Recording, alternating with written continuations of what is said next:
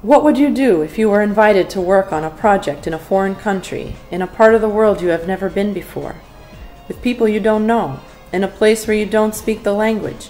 Would you take the leap of faith and go?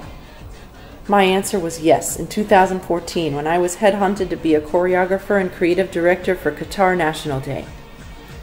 I was one of four choreographers whose task was to interweave our own creativity with Qatari history, culture, and traditions, to design a concept that bridged the past with a vision for where the country was headed in the future, and then portray this in a mass movement performance which was televised and attended by the Qatari royal family.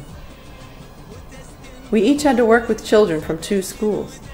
It wasn't easy to teach seven to nine year old kids who had never danced before to move in a synchronized way to music and be coordinated as a group in a country where technically dance is forbidden. In fact, we had to use the word movement to describe what we were doing. To say the least, it was an extraordinary experience, one I will never forget.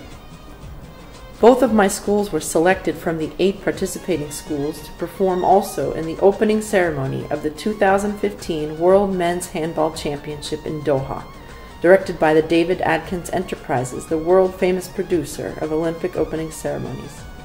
Needless to say, I am so proud of my little dancers.